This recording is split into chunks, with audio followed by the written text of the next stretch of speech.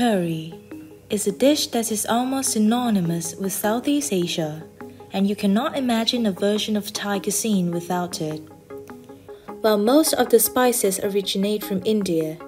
curry cannot by any means be called an authentic Indian dish because, in actuality, it's more of a British invention.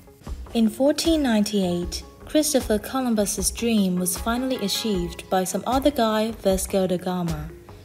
Another trade route between Portugal and India has finally been established by going around the Cape of Good Hope, and that was when the Portuguese were introduced to the Tamil curry. A number of dishes that incorporated a spice meat stew that was served with rice. As Portuguese influence began to dwindle in the region, British colonialists and voice began establishing themselves in the 1800s eventually forming the East India Trading Company. Spices became the new gold, but as the demand for these spices grew, and trade ships found themselves more often than not transporting these spices in a dried form, with British ships dipping into their own supply. Eager with something to add taste to the poor rations that offered them little more than subsistence. The result was the adoption of a form of seafaring curry, dry curry powder that was more rot resistant in the damp condition of a ship's hull, that became both a staple of British naval cuisine and of trade across resupply stations in Southeast Asia. As curries proliferated, occasionally original recipes had to be swapped out for local ingredients due to geographical pressures rendering certain ingredients far too hard to obtain. These are the factors that are by and large responsible for giving specific flavor profiles to dishes and making them irrevocably part of their culture. In Thailand, we cannot rely on milk or other dairy products to produce our curries. In India, there are no fewer than 32 native cattle breeds across the country. But in Thailand, we only have four, most of them Zebu which are famously known to produce little, if any, milk at all. So Thailand innovated. Central Thailand made the obvious substitution and decided to use coconut milk instead. Coconut milk is widely considered to form the basis of the authentically Thai flavor profile.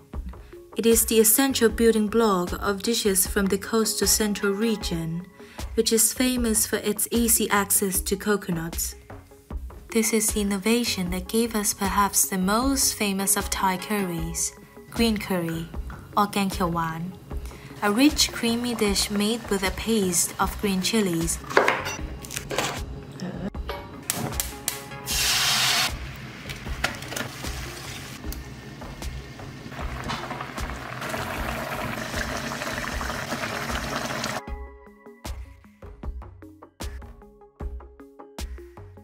while it is a clear and slightly obvious solution in the coastal regions, such as the central and southern regions, in the landlocked northern and eastern regions, this is not a reasonable solution. So, how did different regions adapt to their geography in order to adapt their own versions of curry? While Thailand has never been colonized, it does boast dishes that show clear influence from foreign powers as a result of colonial era trade. For example, in the south of Thailand, we can find a dish gang leung, a sour curry that more closely resembles a soup that shows clear traces of Indian Malay influences.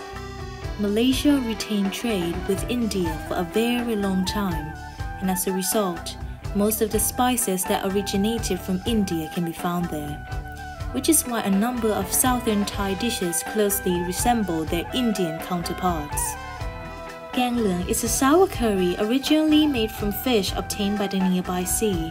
some fruit or vegetables like papaya or bamboo shoots, shrimp paste, and limes, with a curry paste made from chilies, garlic, turmeric, and shallots. As turmeric is not a local spice, we can see the influence of Indian Malay cuisine in gang leung. But more than that, gang leung clearly showcases the culinary identity of the southern region all the ingredients are produced locally. Papaya and bamboo shoots prosper in the south, and with the fishing trade, the necessary fish and shrimp paste are never in short supply. Interestingly, Son's gang leung is different from other southern food restaurants since they adapt the dish in a mix of central and southern combinations by including lotus stem in this sour curry. So what makes the dish so unique? ร้านแกงเหลืองของครัวสอนมันจะเป็นเหมือนลูกลูกผสมระหว่างกรุงเทพกับภาคใต้นะคะ มันก็จะผสมกันถ้าถ้าถ้าเป็นคนใต้จริง ๆเขาก็บอกว่าไม่ใช่รสชาติเขาเราเอาของภาคกลางมาผสม คือเราใช้ส้มมะขามมะขามเปียกเนี่ย แต่ว่าถ้าเผื่อของทางใต้แล้วเขาจะใช้น้ำมะนาว หรือน้ำส้มจาก บางคนก็บอกว่าจะเหมือนทางแกงทางสงขลา แต่ถ้าเผื่อทางเป็นทางใต้มันจะแวกแยกจังหวัด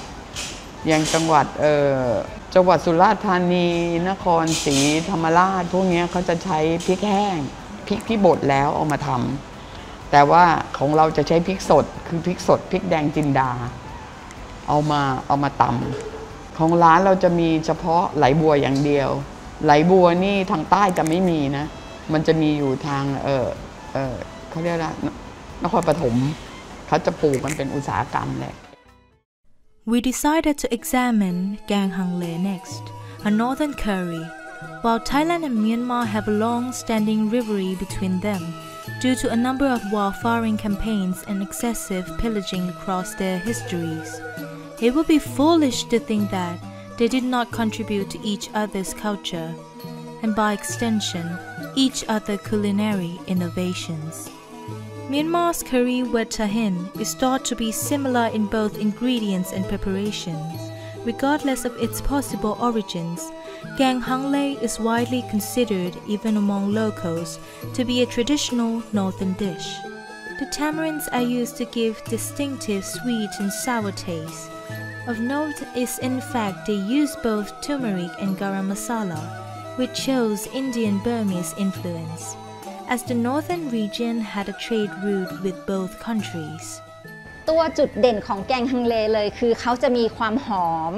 ของเครื่องเทศนะคะ ตัวเครื่องเทศของแกงฮังเลเนี่ยมันจะเป็นเครื่องเทศของทางพม่าทางไทยใหญ่ ซึ่งซึ่งตัวตัวผงฮังเลเนี่ยเมื่อเอามาเข้ากับในเนื้อของของเนื้อหมูเนื้อไก่ที่ทำออกมาแล้วเนี่ย มันจะให้รสชาติที่หอมละมุนมากๆนะคะ ประกอบด้วยเครื่องเทศที่เขาใส่เข้ามา เครื่องเคียงที่ใส่เข้ามา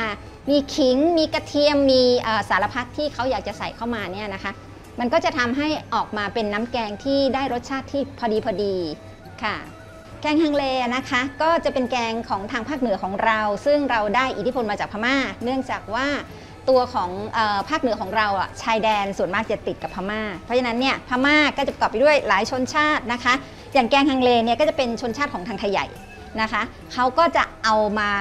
ผสมผสานกับวัฒนธรรมของประเทศไทย แล้วก็ออกมาเป็นแกงฮังเล ซึ่งแกงฮังเลนะคะมันก็จะมีมีคำสองคำประกอบกันด้วยคำว่าฮังกับคำว่าเลนะคะคำว่าฮังหรือคำว่าหินในภาษาพม่าหมายถึงแกง คำว่าเลหรือหรือไอตัวเล่เนี่ยแล้วแต่ว่าใครจะออกเสียงสำเนียงแบบไหน มันหมายถึงเนื้อนะคะ ประกอบกันสองคำแปลว่าแกงเนื้อนะคะ ตัวของแกงฮังเลคนจะนิยมทำไปถวายพระที่วัด จะนิยมทำในงานบุญ เพราะว่าตัวของอวัตถุดิบที่เอามาทำแกงเนี่ยมันจะมีมูลค่าสูง เพราะฉะนั้นคนจะนิยมทำไปวัด the northeast region of Thailand, known as Isan. As there are huge differences in ethnicity and culture, Isan food is markedly different from that of central Thailand and mostly inspired by Laotian cuisine. Isan food is typically much more spicy and sour. When adapted for central taste, Isan people typically rely more on sticky rice than long grain rice used in the central region, and are also known to eat insects, frogs, and lizards, a practice which began as a result of historical poverty. Gang Om Pladuk is barely distinguishable from the soup. It uses river catfish as meat, a practice which originated due to the Laos heavy reliance on the nearby Mekong River. As Isan region relies heavily on fish, but is also known for its heat, the locals have taken to fermentation as an easy and cheap way of preservation. Isan, while heavily reliant on its sticky rice production as part of its economy, is cursed with poor soil which prevents many of the more temperamental crops from growing. This may go to explain why a number of Isan dishes use more invasive crops such as bamboo shoots in so many of their dishes. แต่สิว่ามื้อนี้ก็คือเป็นเออเป็นอมอมปลาเนาะค่ะเนาะอมปลาดุกอมเป็นหยังจังเฮ็ดออมปลาดุกก็คือว่าพอดีมีปลาดุกอยู่หน้าแม่ค่ะ มีปลาดุกอยู่หน้าเฮาบ่ต้องไปหาซื้อหาหา